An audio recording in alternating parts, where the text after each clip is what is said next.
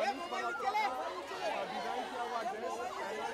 हाँ, रणवीर दोनों मुस्कुरा रहे हैं इस बार दोनों मुस्कुरा रहे हैं और रणवीर जो है अभिवादन कर रहे हैं। उन्होंने एक फ्लाइंग किस भी दिया मीडिया वाले को।